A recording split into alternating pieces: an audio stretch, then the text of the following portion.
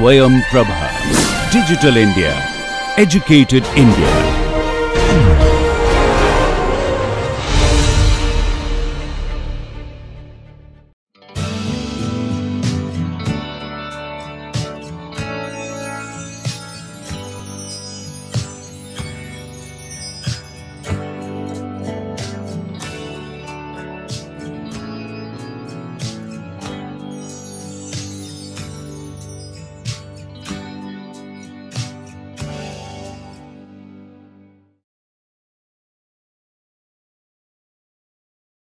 Hello viewers, welcome to this next lecture on the NPTEL MOOC course on mathematical portfolio theory.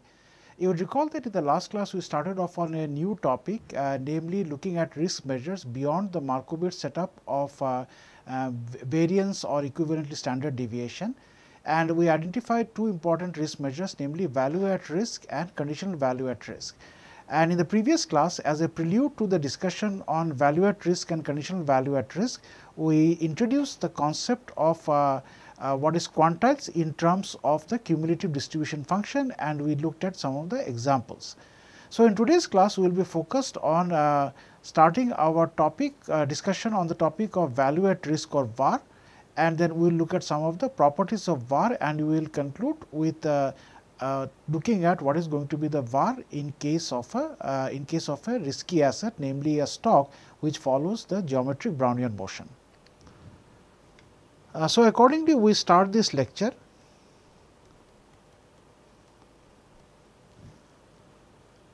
and uh, uh, this will be basically a part of the broader uh, discussion on measuring downside risk and you have already seen some of the downside risks uh, when you are talking about the non-mean variance framework.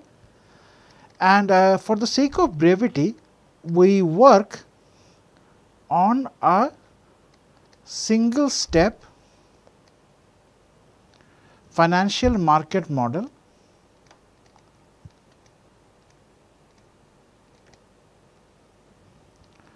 in which we invest at time t is equal to 0 and terminate our investment at time t is equal to capital T. Uh, so, that means that the investment horizon is going to be some time t equal to 0 uh, when the investment is initiated and at time t equal to capital T when the investment is terminated. So, we denote by x the discounted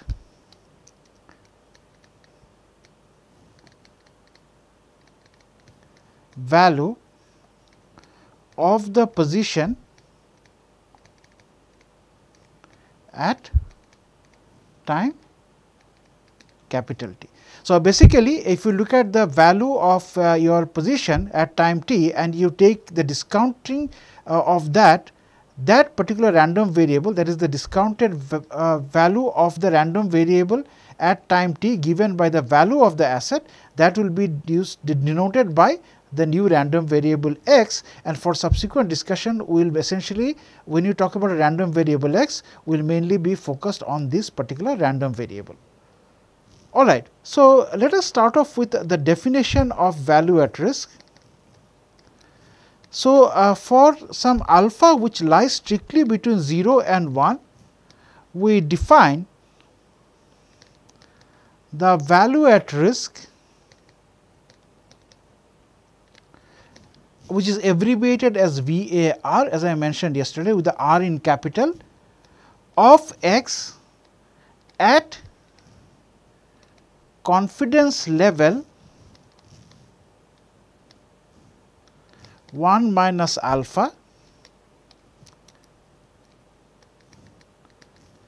as follows.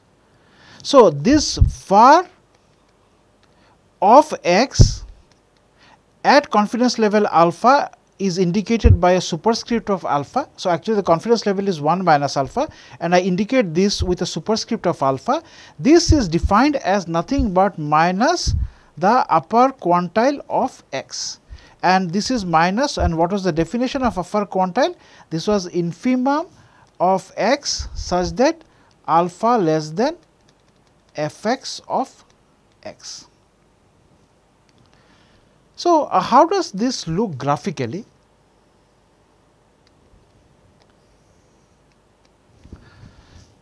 Uh, so, we take the random variable x on the x axis and on the y axis we of course have f x of x. Then the cumulative uh, distribution is something uh, that obviously is going to look like this and uh, eventually uh, of course, it as your uh, as you as your x increases this value approaches 1.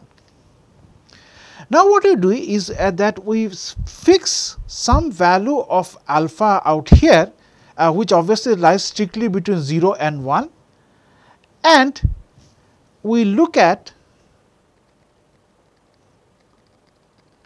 uh, this horizontal line corresponding to alpha and then we identify the corresponding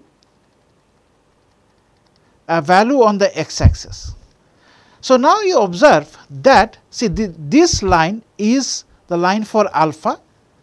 So, the region that is satisfies the condition that alpha is strictly less than f x of x that region is going to be nothing but since your alpha is less than. So, it is basically this region that you have here this region will be alpha uh, is greater than f x of x because alpha lies above the curve here and this region is the region where you have alpha is strictly less than f x of x.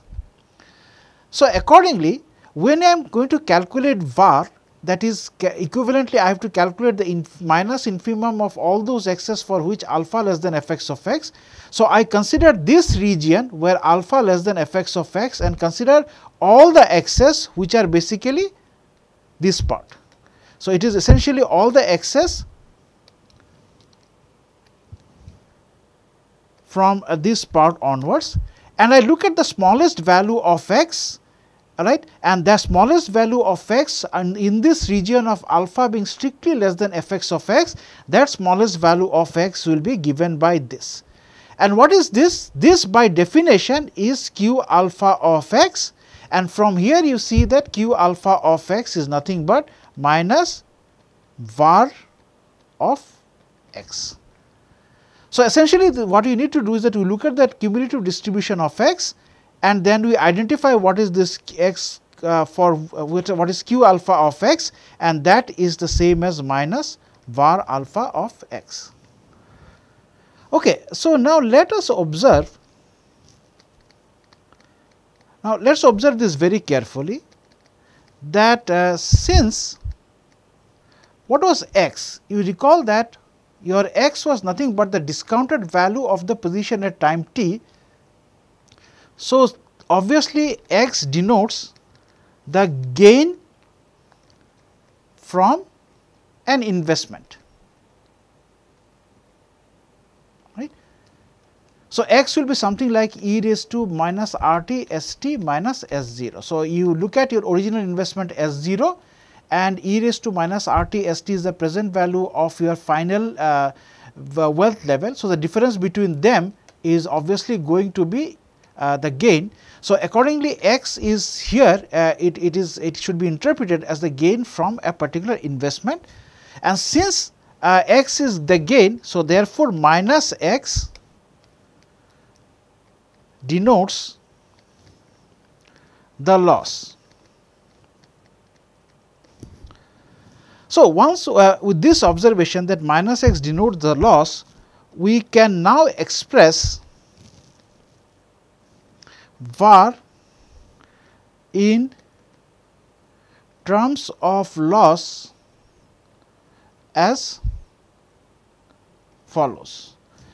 And what is this going to be? So, just what is the definition of var? var alpha of x is equal to minus q alpha of x and this you would recall from the result done in case of quantile this is going to be nothing but q of 1 minus alpha of minus x. So, recall that uh, we had already done this result. So, it is one of the results that uh, we had done in yesterday's class uh, or rather the previous class and this is uh, and what is this by definition? So, var alpha of x equal to minus of upper quantile of x by definition of var and this from the result we say that this is q of 1 minus alpha of minus x and this is now the lower quantile. So, this by definition is the smallest value of x such that this 1 minus alpha is less than or equal to the cumulative distribution function or probability of the random variable minus x being less than or equal to little x. So, this is an alternative form of writing what is going to be my var x of alpha in terms of the loss variable. And this can be written as it is the smallest value of x such that probability of x less than minus x is less than or equal to alpha right. Uh, so, how do I obtain this? So, basically I have 1 minus alpha is less than or equal to probability of minus x less than or equal to x. This implies that probability of minus x. Uh, so, this will imply that 1 minus probability of minus x being less than or equal to x is less than or equal to alpha and remember that 1 minus probability of minus x less than or equal to x is nothing but probability that minus uh, x being greater than x is less than or equal to alpha and this implies that this is probability of x being strictly less than minus x less than or equal to alpha all right. Uh, so, basically I have taken this expression and got the equivalent expression here which I have substituted out here. Okay, now let us look at this new form of var uh, in, in this uh, as a part of this expression and see what it means. Uh, so, we can we can state that this means that the probability of the loss exceeding var of x is no greater than alpha or in other words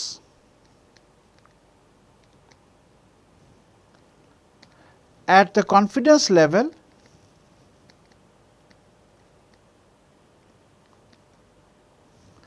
one minus alpha our loss is no worse than var alpha of x. So, var alpha of x is the number uh, which says that at a confidence level of 1 minus alpha. So, for example, if your uh, alpha is uh, uh, uh 0.05, so 1 minus alpha is 0.95. So, suppose that we have alpha is equal to uh, 0.05 uh, then 1 minus alpha is equal to 0.95 or 95 percent. So, in that case we say that uh, in 95 percent cases the loss is no more than var of 0.05 of x. Okay, uh, now uh, let us just uh, briefly uh, enumerate some properties of var.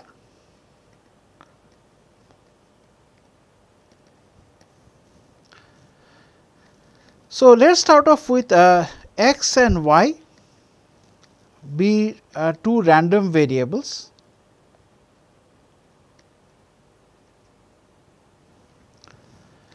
So, the following properties hold. First of all, x is greater than or equal to y implies that var alpha of x is less than or equal to var alpha of y.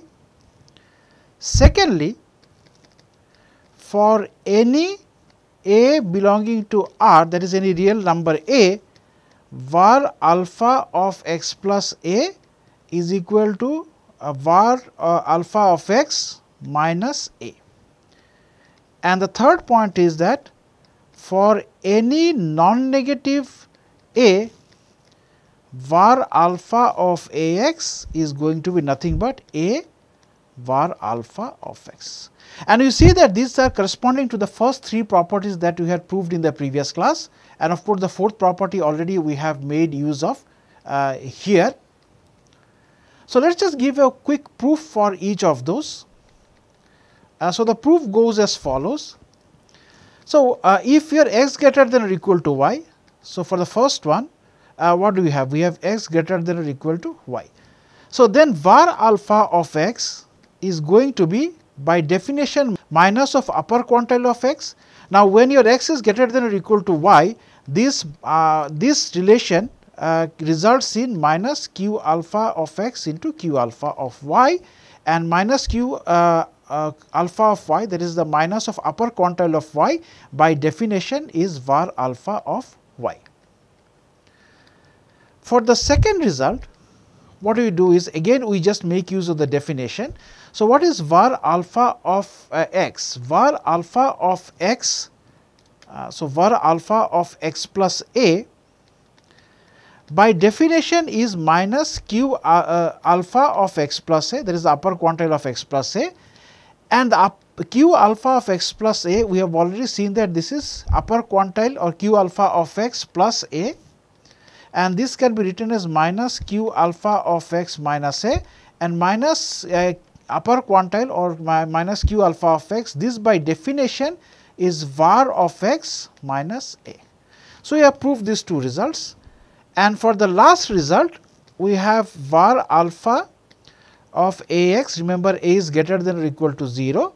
This is what is going to be this is going to be minus of q alpha of a x by definition that is minus of upper quantile of a x and this can be written as uh, upper quantile of a x by the result for quantiles this is a into q alpha of x and this can be written as a into minus q alpha of x and this is by definition is that a var alpha of x.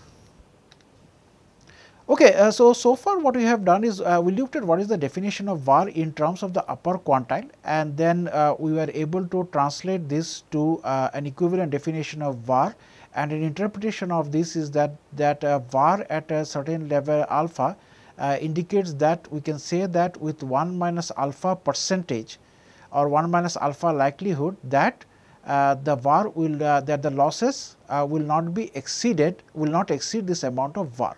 So, when I say that uh, my alpha is equal to maybe uh, 10 percent and the corresponding var is some v then what you are really saying is that there are 90 percent chances are that the losses are not going to exceed this amount of V and 10 percent chances are that the losses are going to exceed this amount of V. So, what it does is that at a certain level of uh, confidence uh, it essentially gives a threshold uh, which indicates that the likelihood uh, that uh, at this particular uh, likelihood level gives the chances of at that chances of the losses exceeding that value at that particular value of alpha. So, what it essentially does is that it looks at the distribution of the returns and essentially bifurcates that into two part uh, with the the cutoff being at var and uh, and then uh, you essentially identify uh, that the chances of losses being above or below that particular level and that is linked with uh, what is going to be the corresponding confidence level. So, the cutoff will essentially depend on what is the confidence level. So, if you choose a different value of alpha then obviously you are going to get a different value of var. So, every definition of var uh, obviously or any result on var must be accompanied uh, by the caveat that you have to specify what is going to be your level of alpha. So, the next thing we do is uh, we look at the example for computing var and we look at a few of those examples to illustrate how the computation is done. Uh, so, for this purpose what we shall do is that we shall assume that at time t is equal to 0, we invest an amount of V 0 to receive an amount of V of capital T at time t is equal to capital T. Right. Uh, so, this means that you have these two timelines 0 to capital T and you invest V 0 and you end up receiving an amount of V of capital T. Uh, further, we use the random variable x to denote the discounted gain at time t is equal to capital T. So, that is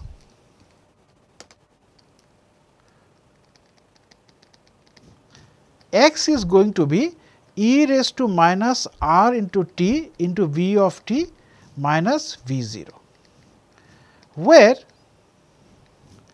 r is the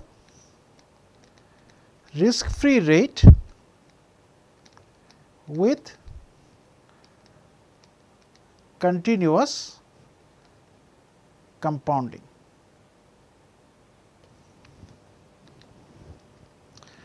All right. So, let us start off with the first example and this is going to be the uh, simplest possible ex example and uh, we assume that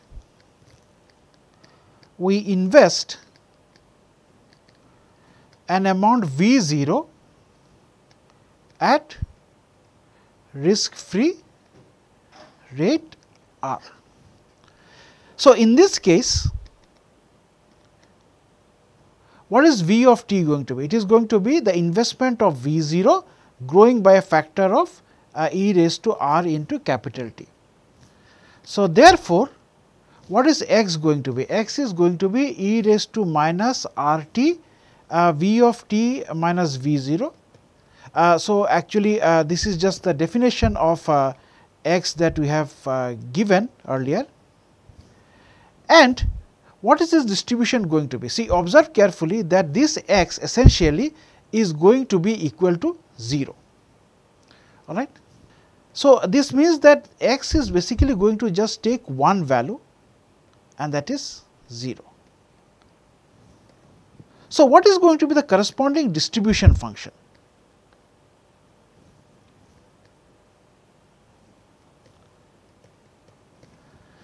So, here uh, when your x is less than 0, then obviously the probability of that happening is going to be equal to 0 and your x being greater than or equal to 0 is going to be 1 because you know for certainty that x will take the value of 0. So, this is going to be your cumulative distribution function f x of x. Okay, now that you have the cumulative distribution function, uh, obviously then you can calculate your quantile. So, for any alpha belonging to 0 1, what is going to be your quantile, upper quantile? Your q alpha of x is going to be equal to 0 right. So, because you need to consider the situation where your uh, alpha is less than f x of x and that the smallest value for that is going to be 0. So, your upper quantile is 0. So, from the distribution function you have got the upper quantile and immediately the value at risk turns out to be equal to minus the upper quantile of x uh, and that is going to be equal to 0. And now you see that uh, in, uh, you can you observe that intuitively uh, this is what you are going to expect because uh, it is like an investment in a bond that you invest an amount of V 0 and uh, then the discounted gain is simply going to be equal to 0 that is e raised to minus t into V of capital T minus V 0 is going to be equal to 0. And uh, the reason why the value at risk is going to be 0 is that because it is a bond and of course, assuming that you are holding on to the bond up to time capital T uh, and that is the same as the maturity of the bond, obviously you are not going to lose any amount of money. And when you are not going to lose any amount of money that means that you are not going to suffer any losses and so that means that the value at risk that is that is the amount of money that you are likely to lose naturally is going to be equal to 0. So, this is the simplest case of uh, estimating what is the value at risk. Now, let us move on to uh, another example as uh, this time of course, you know we will have to uh, take into consideration of what is a risky asset. So, uh, we start off with uh, the second example and in this case suppose that we have an x. So, that means your x is say can take two values. So, suppose that x equal to minus 20 uh, that means uh, your return is uh, discounted gain is going to be minus 20 with probability 0 0.025 it is going to be minus 10 with probability 0 0.025 and probability that x is greater than 0 is going to be 0 0.95. So, either x takes the value minus 20 or minus 10 or simply positive values with the uh, respective probabilities being 0 0.025 each for the first two cases and 0 0.95 for uh, all the positive gains. Okay, then what is going to be my f x of x? So, you see uh, if your x is less than minus 20, strictly less than minus 20, then the probability is going to be 0. So, f x of x is going to be 0 when your x is uh, lies in the closed interval minus 20 that means this value all the way to minus 10 uh, but excluding 10 then the corresponding probability will be 0.25 and the cumulative probability is also going to be 0.025. Likewise, when x is from minus 10 to uh, 0 right then you will essentially get again. So, now I have to include this probability of 0.025. So, the cumulative probability will be 0.05 and when x belongs to uh, 0 to infinity uh, will get. So, this I will make it as greater than or equal to 0. So, this turns out to be equal to 1 uh, because I have to add this probability of 0.95. So, this is going to be the cumulative distribution uh, for this random variable x. Now, uh, we consider three values of alpha. So, suppose we consider alpha equal to 0 0.05, 0 0.025 and 0 0.005. Then what is going to be the corresponding var alpha of x? So, in the first case var alpha of x is going to be minus q raised to 0 0.05 into x and from here we see that this value is going to be equal to 0. In the second case it is going to be minus q of 0 0.025 of x and so from this two we get that this is going to be minus of minus 10 which is 10. And finally, we get the last var to be minus q of 0.005 of x and this is in this particular range. So, this is going to be minus of minus 20 and this is going to be equal to 20. So, why did I do this example? The purpose of this example is that this example shows something that we ha I have already mentioned that uh, the var alpha of x is sensitive to the value of alpha. So, for different values of alpha you are actually getting different values of var for the same distribution here. Let us now consider a third example. So, we consider two independent investments with discounted gains being denoted by by x 1 and x 2. And here I specify that in both the cases uh, xi uh, is equal to 0 with probability of p that means the discounted gain is 0 with probability p and the discounted gain is 1 with probability of 1 minus p. So, this is just a hypothetical example uh, and of course, you know this holds true for i equal to 1 and 2. Uh, so, this example uh, to relate it to the real life. So, we can think of this as corporate bonds with identical price and maturity of two independent companies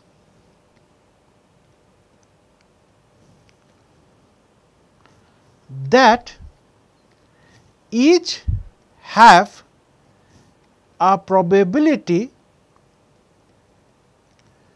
of default with 0 recovery being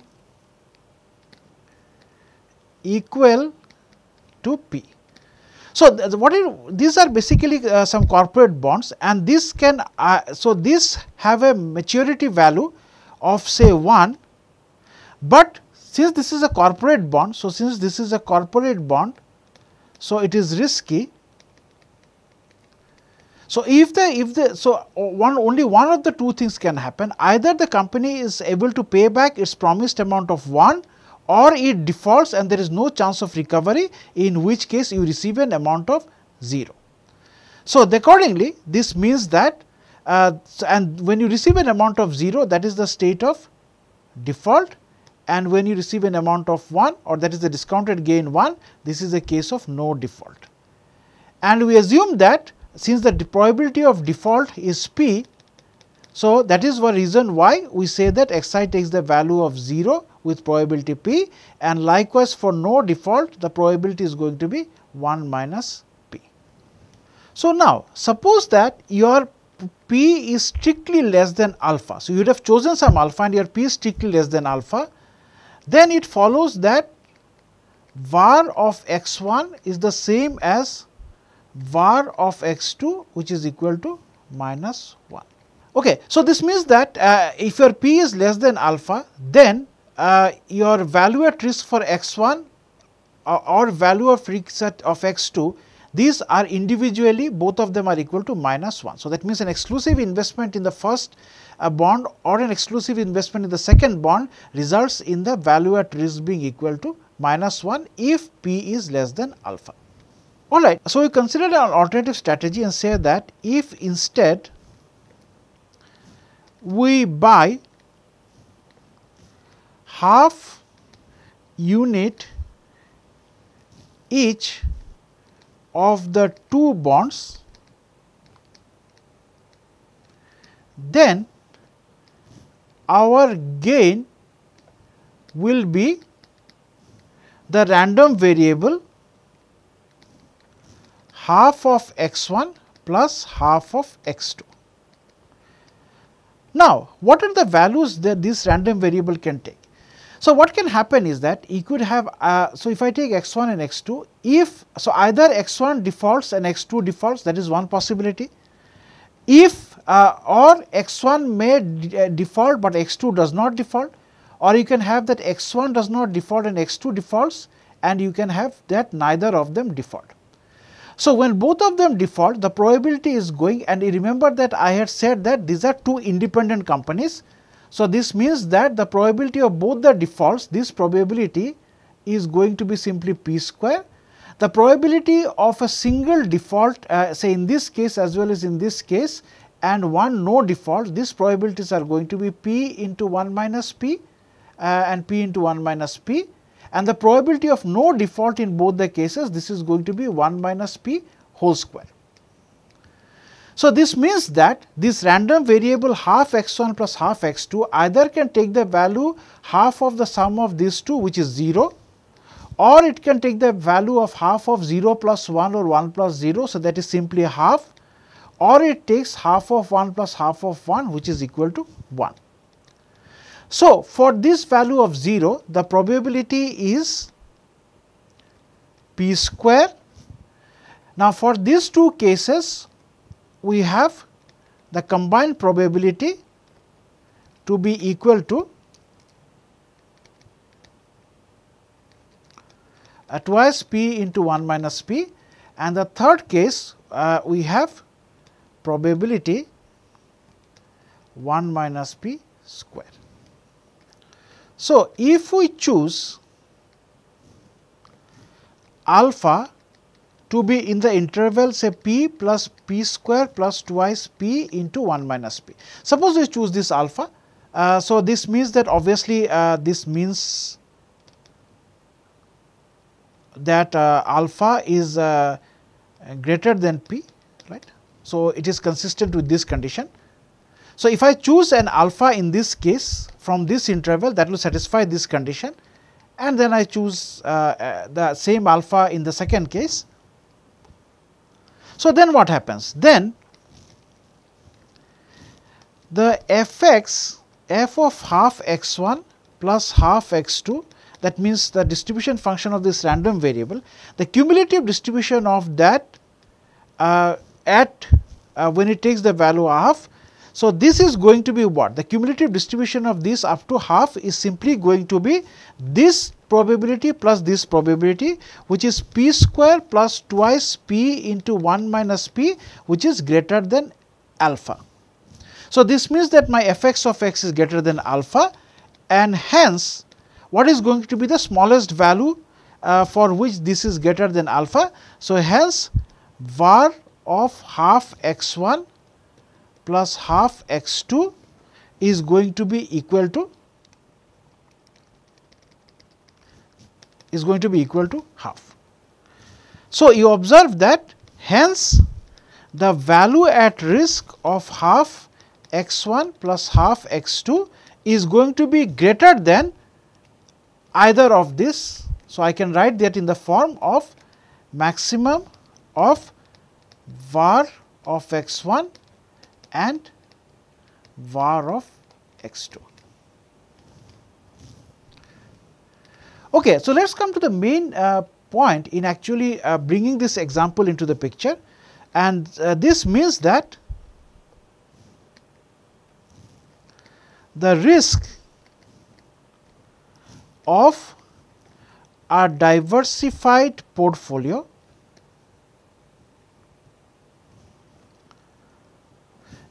or a diversified uh, position as measured by VAR. So, this is the uh, VAR of the diversified portfolio because you have invested in both the bonds is greater than the risk as measured by VAR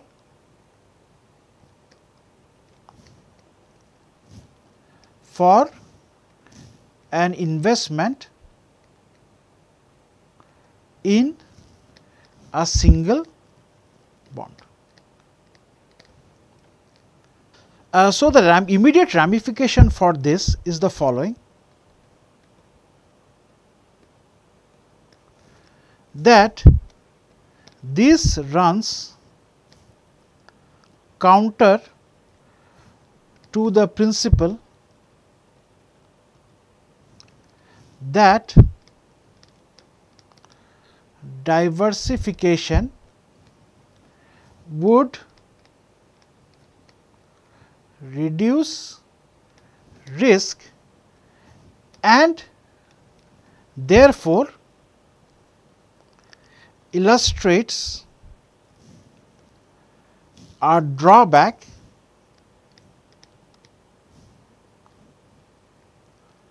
in using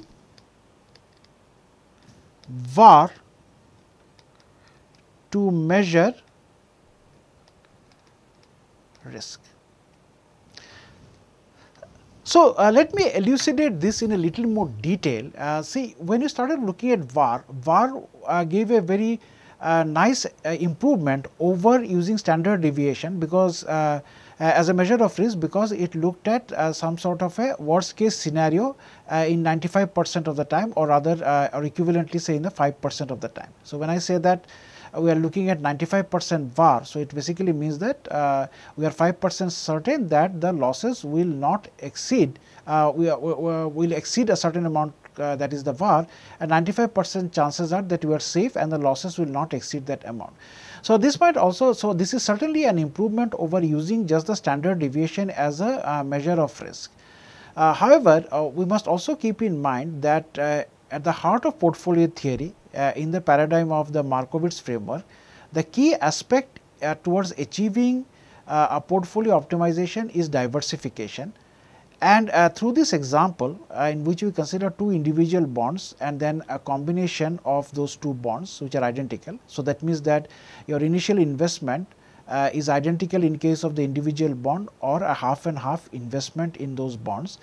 And it turns out that in this case the value at risk uh, that you have for uh, alpha being greater than p, it turns out that as a result of diversification the value at risk actually has increased as compared to a situation where you would have just invested in either of the individual bonds. So, this essentially uh, is a sing single counter example and there are many such counter examples that you can create which says that the value at risk while being you know a good alternative to uh, using standard deviation or variance as a risk measure suffers from these drawbacks that not in all situations can you achieve uh, an improvement in terms of risk reduction just because you have uh, carried out diversification and it is this key weaknesses in case of value at risk that motivates the usage of uh, the introduction and usage of the conditional value at risk that we are going to introduce in the next class. So, let us continue our discussion uh, keeping in mind this uh, uh shortcoming but nevertheless keeping in mind the, the usefulness of VAR as compared to just the standard deviation. Let us now continue our discussion and uh, elaborate a little more on this by looking at a couple of important results, uh, one in the discrete case and one in the continuous time case. So, we first present this result 1, it says the following that assume that x is a discrete random variable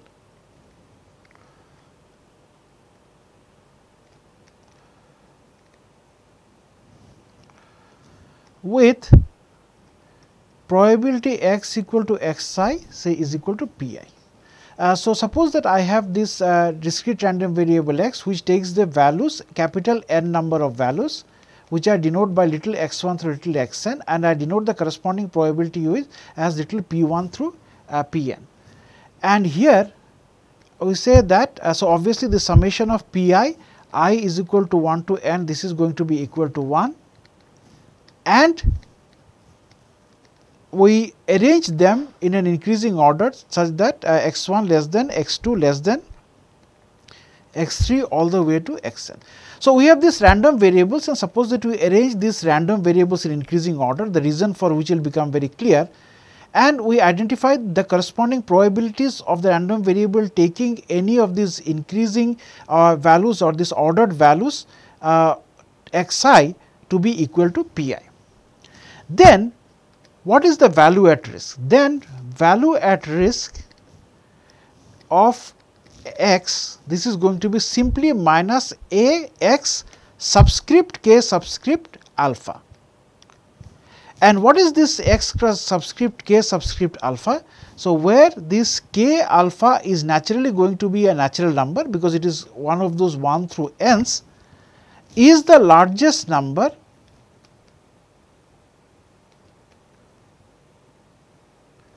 such that the summation probability uh, pi's i equal to 1 to k alpha minus 1 this summation is going to be less than or equal to alpha and the reason for uh, in this definition uh, being introduced will be clear once we do the proof. So, let us start the proof for this. Now, since uh, x has a discrete distribution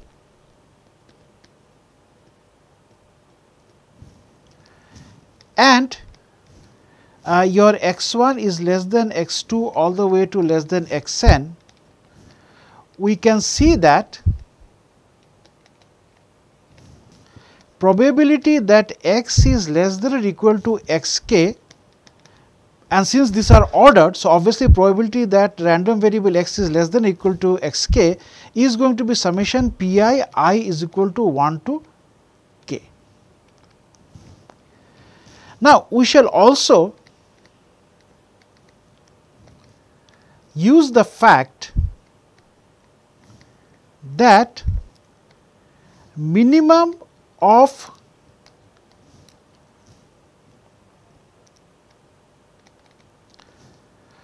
all those k's such that alpha is less than summation uh, pi i is equal to 1 to k. This will be simply the maximum of all those k's such that summation pi i is equal to 1 to k minus 1 is less than or equal to alpha. Uh, so, basically uh, you can observe this very uh, easily if you actually uh, ordered look at the ordered values of p 1 all the way to p of capital N and you basically set uh, the alpha to be some sort of a bifurcation criteria. So, here of course, you know alpha is pre specified. Uh, so, accordingly you identify the two probabilities in between which this alpha lies. So, it is possible that alpha. So, accordingly uh, you will essentially have that the sum of the probabilities uh, in one case will be less than or equal to alpha here and sum of the probabilities in the other case is going to be greater than alpha. So, essentially this means that you look at the cumulative distribution of the probabilities and then uh, you essentially identify the point where alpha is going to lie and so essentially alpha is going to lie between some of some case at some point you are going to switch over alpha being less than a summation of all the probabilities uh, to the situation where the alpha is going to be greater than or equal to sum of all the probabilities and that switching point is the one uh, and using that. So, essentially that means that in one case the minimum the value of k uh, uh, is uh, where alpha is less than summation of pi that is the same as the uh, this, uh, that is going to be the index for which the switching will happen and that is going to be exactly the same as the maximum of that value of k such that alpha is going to be greater than or equal to summation of all the pi's. Uh, so, once we have identified this fact, so therefore, we are now in a position to calculate the upper quantile which then can of course be used to calculate what is the value at risk. So, the upper quantile by definition is the infimum of all those x such that alpha is less than probability of x less than or equal to x and this is nothing but it is the smallest. So, what are these x values? These are x k. So, it is the smallest x k such that alpha is less than probability of x less than or equal to x little k and this is minimum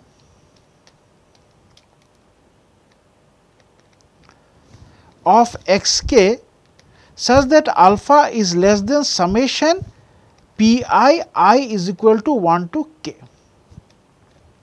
So, uh, this comes from the definition of this probability and this minimum is not going to be nothing but maximum. So, making use of this results. So, these k's are obviously this can be replaced by x k. So, this is going to be maximum of all those x k such that summation of pi. So, this term here i equal to 1 to k minus 1 is less than or equal to alpha. And what is this? This is precisely what we had defined to be our k alpha. So, this is going to be nothing but uh, x of k alpha as defined in the statement of the result. So, we are we are done. So, therefore, uh, since the upper quantile is x k alpha. So, therefore, the value at risk is negative of upper quantile and this is minus x k alpha. All right. So, now let us make a note that so, let us now move to the continuous time setting. So, if x is a standard normal random variate uh, that is uh, n of x the cumulative distribution of this is 1 over square root of 2 pi into integral minus infinity to x e raised to minus z square over 2 into dz. So, then your var alpha of x if x is a standard normal random variate this is simply going to be minus n inverse of alpha and the reason is that we make use of the result that the upper quantile q alpha of x is simply going to be minus n inverse of alpha uh, is equal to minus uh, uh, f x inverse of alpha. So, you recall one of the results and since the cumulative distribution is the cumulative normal distribution. So, that is why I get minus n inverse of alpha and this happened if f x is continuous and strictly increasing which is the case in case of the normal distribution.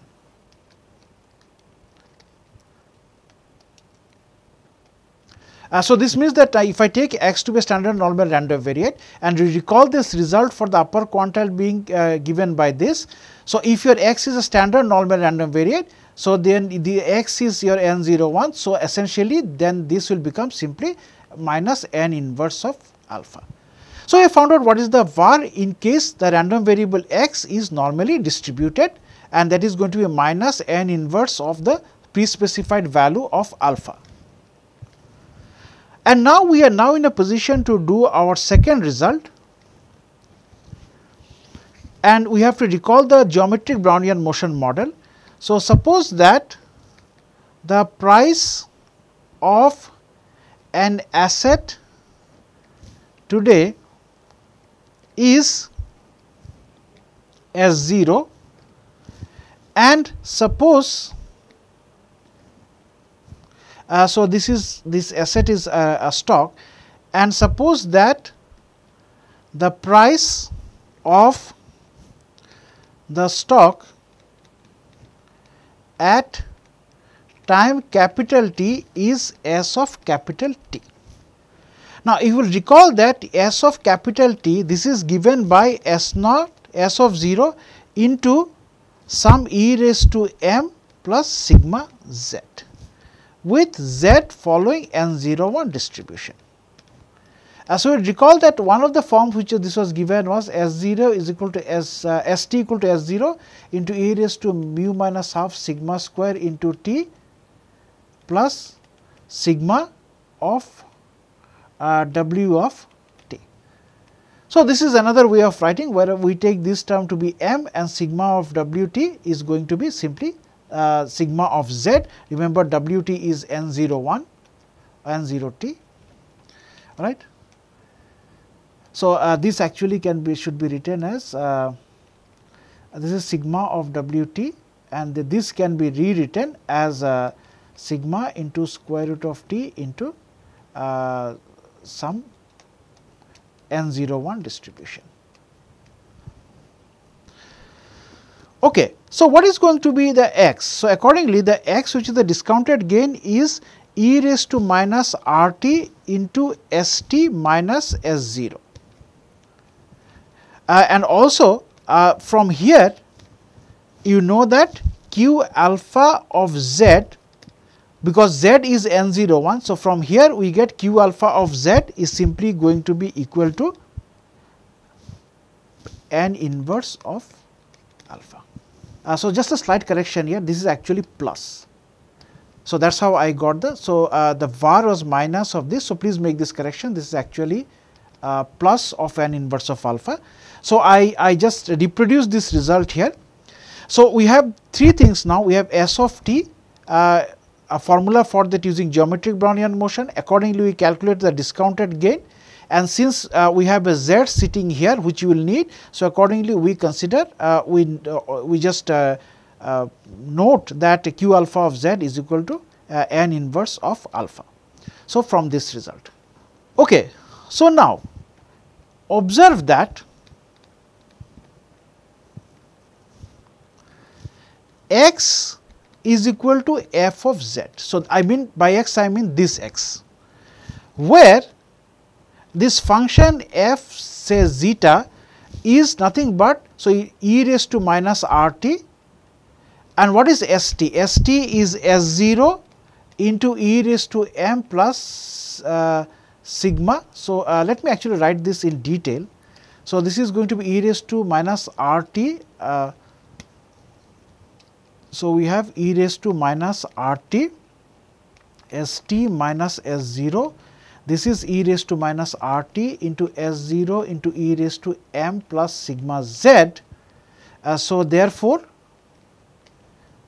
uh, I can define f of zeta which is a this is going to be e raised to minus rt, r t s 0 e raised to. So, there is a minus s 0 e raised to m plus sigma zeta minus s 0. So, if I put zeta is equal to uh, z then we uh, we get back or recover this relation. Okay, now you observe carefully. Now, this f of zeta is an increasing function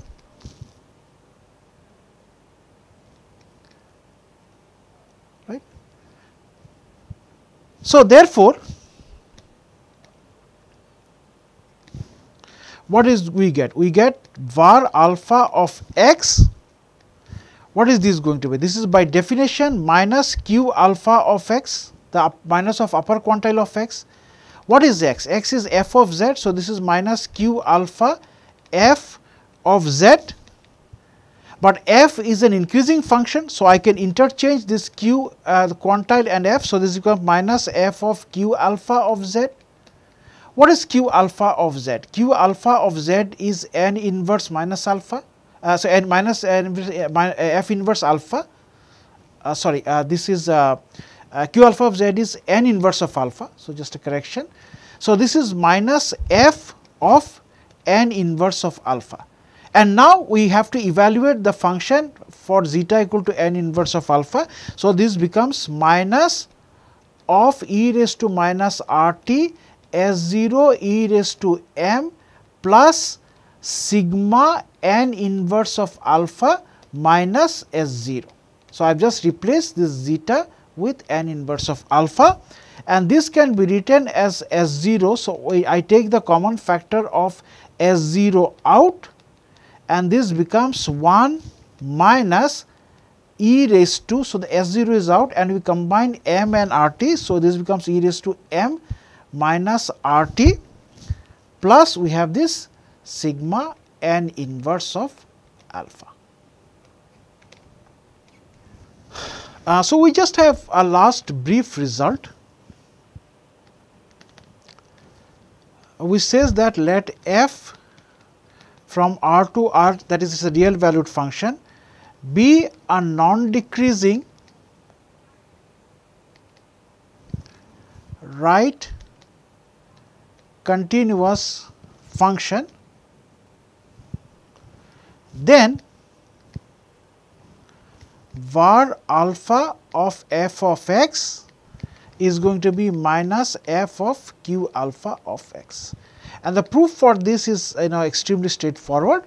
What is going to be start with the left hand side. So, var of f x is going to be by definition minus q alpha of f x and we just interchange the f and q. So, this becomes minus f of q alpha of x. All right. So, this brings us uh, to the end of this discussion on value at risk. So, just to do a recap, uh, we picked up from uh, the results that we had done last time on uh, the quantiles and we now introduce the definition of value at risk of x uh, to be negative of the quantile of x and we give an interpretation of the var in terms of uh, looking at the loss and the percentage level with which you can predict this loss uh, we looked at three different examples. The first was uh, to recognize that uh, the value at risk in case of a bond uh, since it is a risk free asset is going to be 0. And uh, then we looked at another example in case of the value at risk in case of a risky asset. And finally, we looked at a very critical example of value at risk which shows that diversification does not necessarily lead to reduction in the value at risk. And we identified that this observation uh, of the failure of diversification in achieving a lower uh, measure of risk as given by the value of uh, value at risk is something that is going to be used as a motivating reason for moving on to what is the conditional value at risk. And then we looked at a few results uh, primarily the result uh, pertaining to determining the value at risk in case of a random variable taking the discrete values uh, and uh, provided they are ordered in, in increasing fashion and then we looked at what is going to be the value at risk in case of a random variable forming following a standard normal random variate which then was used to calculate the value at risk of a investment in a stock where the behavior of the stock is modeled in the continuous time framework using the geometric Brownian motion. So, this brings us to an end to the discussion on value at risk and in the next class we will conclude this topic uh, with a discussion on what is the conditional value at risk. Thank you for watching.